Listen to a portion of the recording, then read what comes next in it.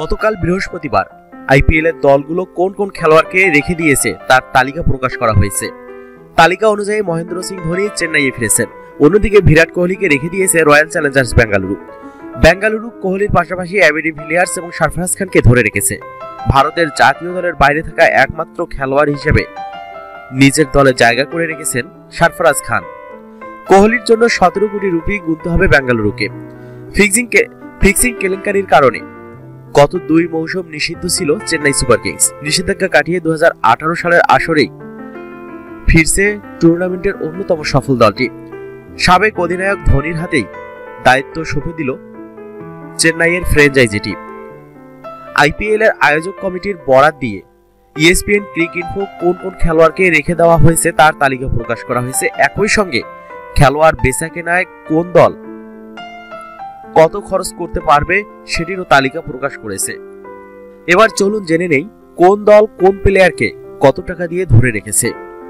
Mumbai Indians, পনেরো কোটি রুপিতে রোহিত শর্মা, এগারো কোটি রুপিতে হার্দিক পান্ডিয়া, সাত কোটি রুপিতে জসপ্রীত বুমরাকে ধরে রেখেছে Mumbai Indians, Royal Challengers Bengaluru সর্বোচ্চ সতেরো কোটি রুপিতে বিরাট কোহলি এগারো কোটি রুপিতে এবিডি ভিলিয়ার্স এবং এক কোটি পঁচাত্তর লক্ষ রুপিতে সরফরাজ খানকে ধরে রেখেছে Royal Challengers Bengaluru.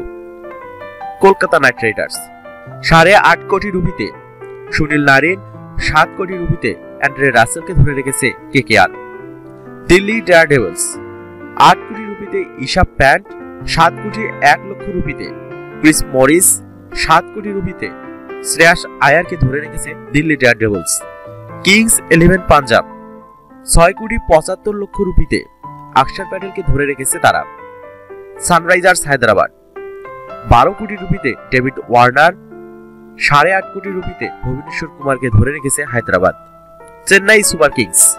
পনেরো কোটি রুপিতে মহেন্দ্র সিং ধোনি, এগারো কোটি রুপিতে সুরেশ রায়না, সাত কোটি রুপিতে রবীন্দ্র জাদেজাকে ধরে রেখেছে Chennai Super Kings.